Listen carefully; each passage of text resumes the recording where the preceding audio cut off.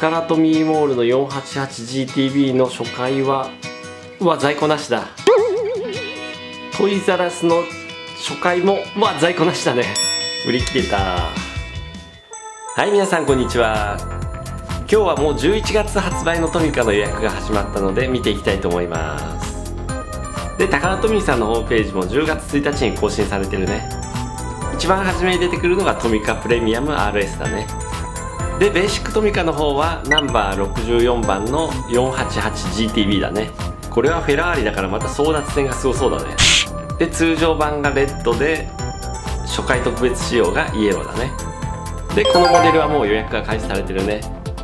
ネット予約だともうすでにこの初回特別仕様とかすごい勢いで品切れになってたね。でもう1車種広島電鉄のトミカだね。でライドオントミカだね。なかなかピカチュウとか可愛いね。これもすでにこれで10車種目になるんだね。でハローキティのリンゴを運ぶ車とかも出るんだね。でトミカプレミアムはスバル BRZ だね。これもなかなかかっこいいよね。で新しいトミカブランドのトミカプレミアム RS ランボルギーニカウンタック LP500S だね。でこれは定価が税別3500円だからなかなか高いよね。でネット予約でも完売し始めてるサイトとか結構あるね。でトミカワールドは JAF ビッグレッカー車っていうのが出るんだね。これも結構人気あるモデルだよね。でその他は特注トミカだね。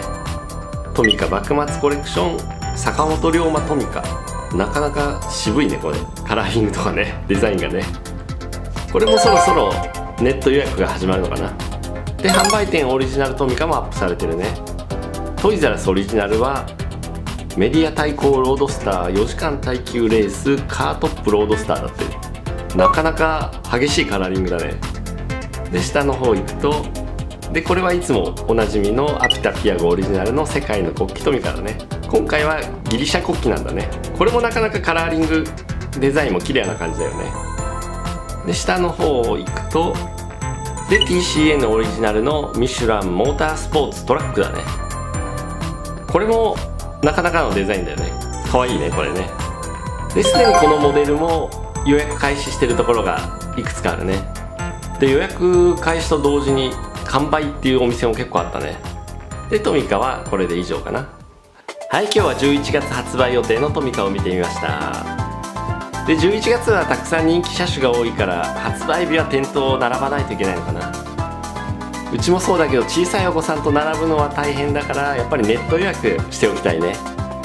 この 488DTB とかはすでにオークションサイトでもう2000円とか超える値段になってるからね。それぐらい注目されてる車種なのかな。で発売日までに日数がまだまだあるからネット予約も復活するサイト結構あるんじゃないかと思います。もう一つ手に入れるのが大変そうなのがこの TCN オリジナルだね。これもネット予約開始と同時にほぼ完売ってなってたけどまだこれから予約できるところもあるよね。でこの TCN オリジナルは買えるお店が結構限られてるよね。遠方まで買いに行くの大変だからネット通販でなんとか手に入れたいかなと思います。でもまだ店頭で予約受付してるお店あるからお近くの取扱い店舗を調べて問い合わせしてみるといいと思います。はいこんな感じで11月も人気車種を手に入れるのはちょっと大変そうだね。で今日の動画を参考にしていただいてなんとか人気モデル手に入れてみてください。はい今日も最後までご覧いただきありがとうございました。またチャンネル登録もお願いします。今日もおしまいです。バイバーイ。